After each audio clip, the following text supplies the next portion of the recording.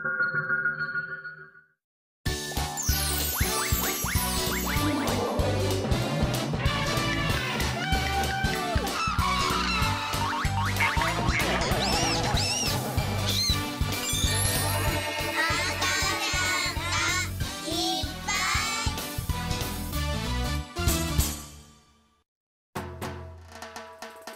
リッとした目がとっても可愛らしいこの小さな赤ちゃん。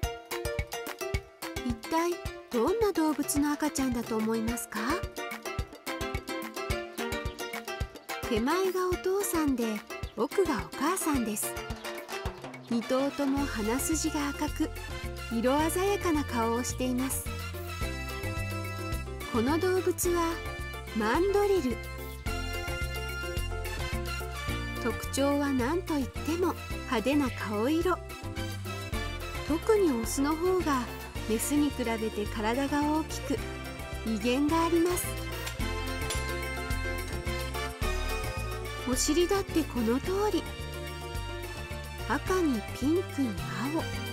青。いろんな色がありますね。マンドリルは中央アフリカ西部のカメルーンガボン赤道ギニアコンゴにまたがる広大な熱帯雨林に生息します。派手な顔の色は暗い森の中で仲間を見分けやすくするためと言われています。こちらはもうすぐ2歳になるオスのマンドリルで名前はまんまる。子供のマンドリルには鮮やかな色はありません。見ての通り真っ黒。大人になるにつれて鮮やかな色合いになっていくのです。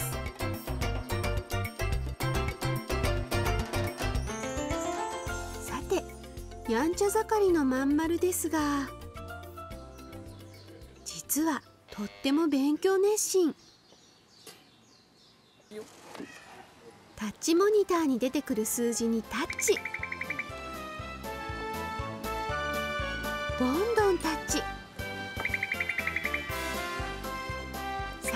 勉強の始まり始まり。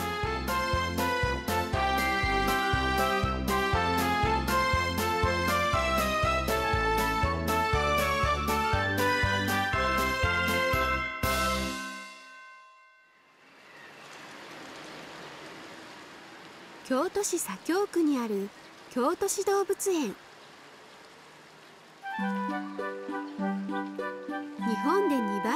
歴史の古いこの動物園は京都の中心部に近く動物を間近に観察できる動物園として地元の人たちの憩いの場となっています。京都市動物園のマンドリルは仲良し家族。お父さんのマンゴローを中心にお母さんのオネ2歳になる子供で元気はつらつなまんまるそして生まれたばかりの赤ちゃんマンドリルランマンがいます。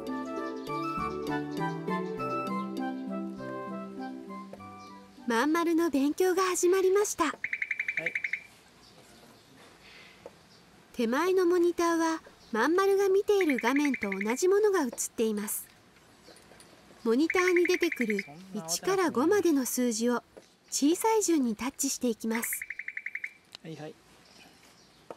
数字は毎回ランダムに出てきます。なんとまん丸は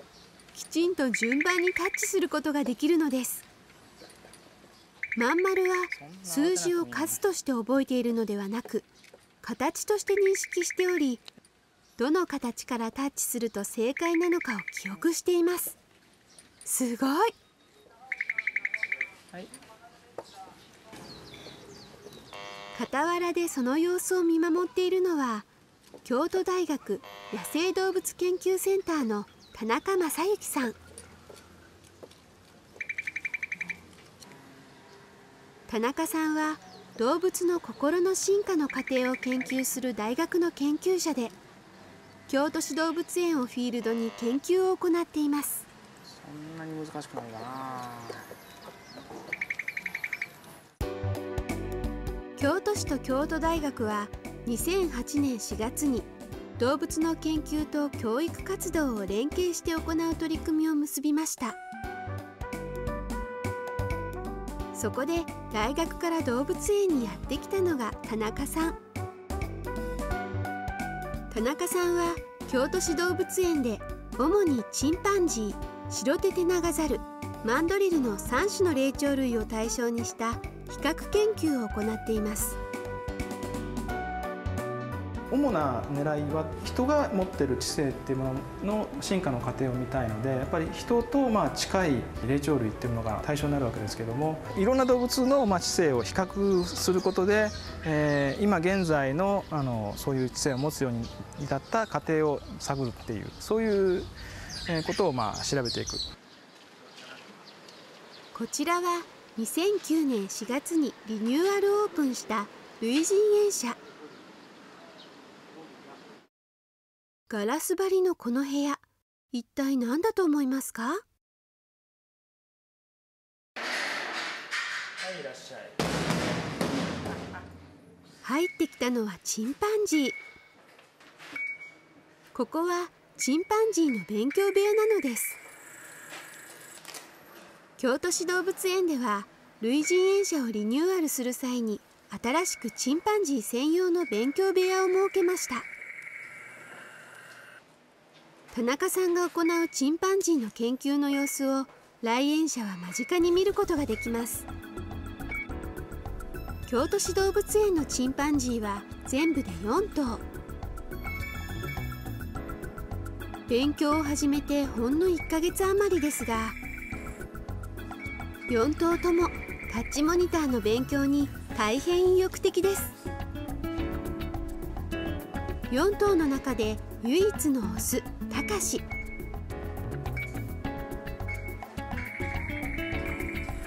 一番年長の恋子。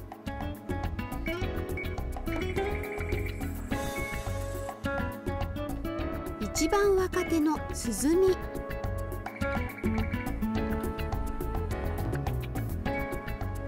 そして少し気弱な陽子も。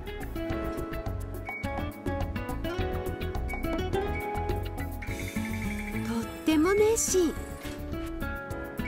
実はこれまでの研究でチンパンジーは瞬間記憶力が人より優れているということが発表されています。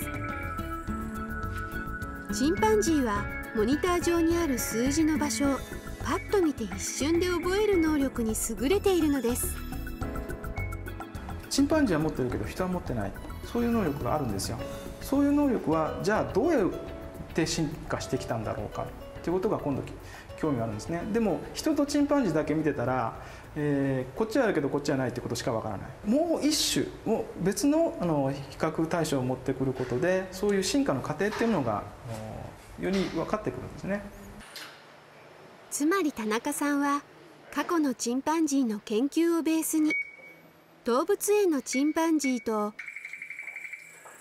マンドリル白テテナガザルにも同じタッチモニターを使った研究を行い比較しようとしているのです。はい。はいはい。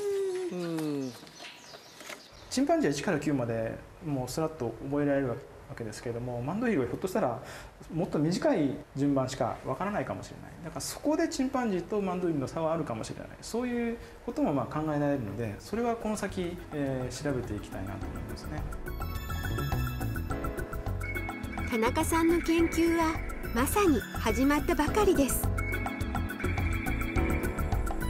これからどんな結果が得られるのかとても楽しみですね。マンドリルは現在子供のまんまるが熱心に勉強に参加していますが、はい、はじめはお父さんのマンゴローがタッチモニターの勉強をしていました。マンゴローは問題が難しくなるにつれて勉強から離れてしまい代わりに興味を示したのが当時まだ赤ちゃんのまん丸でした。彼はまだその頃お母さんのおっぱい飲んでた頃なんでお母さんに抱かれながらお父さんのやってた課題に割り込んでいったでやってみたらお父さんがもう全然できなかった問題を結構簡単にできちゃったんですね必ずしもあの彼の性格がどうこうとか彼の能力がっていうよりもお父さんがまあ触ってるのを間近で見るチャンスがあってそれをずっと見ていく見ていられるっていう場所にいてでたまたまお父さんがどいたっていう、まあ、そういう本当にいろんなタイミングがあのうまくあって彼ができるようになったんだと思います。2歳になるまん丸は1から5までの順番をほぼクリアし現在は1から6にチャレンジしています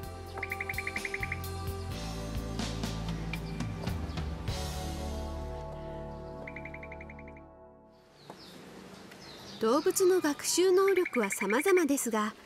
共通しているのは決して強制ではなく動物たちが自ら進んで勉強に参加しているということ。それはこんなところに現れています。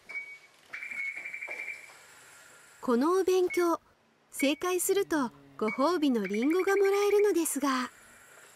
本当はあのこの溝に対応するぐらいでっかいリンゴを最初は切って使ってました。でもあの今はもうこれでも十分彼らやってくれます。私もついついあのチンパンジーの様子を見るのに一生懸命になっちゃってリンゴを足すのを忘れるってことってよくあるんですよ。それでも止まっちゃうわけじゃなくて結構やってるんですよね。チャイムが鳴ったらもう正解してるってことは分かるわけですね。でそのこと自体で楽しくなってやってくれてるって面が結構あるんだろうなと思いますね。さらに田中さんの研究は動物にとって非常に良い効果が得られているようです。京都市動物園で田中さんの研究をサポートしている坂本さんにお聞きしました。田中先生が用いているあのタッチモニターですね野生にあるわけではな。いけれども自分の頭を使って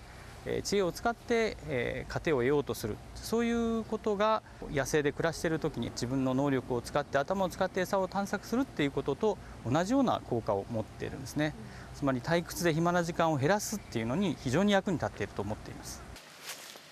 一箇所にさまざまな動物がいる動物園で研究をすることは田中さんにとって大きなメリットです。何よりも研究によって動物たちの生活に張りが出て楽しい毎日を送ってくれればと田中さんは考えています。はいはいはいはい、ただそこそこで研究を、えー、させてもらうだけじゃなくって研究をすることによって、えー、動物園にも何らかの、えー、いいことがあるメリットがあるっていうような関係が取れたらあよりそのその関係っていうのは長続きするんじゃないかなっていう。今日もマンドリルのまん丸の勉強が始まります。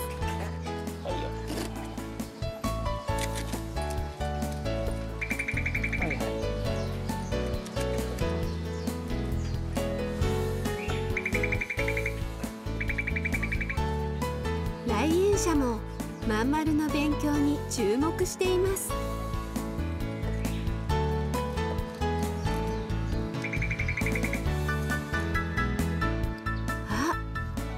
小さならんまんがタッチモニターに興味を示しています次はらんまんが田中さんの研究に参加するかもしれませんね。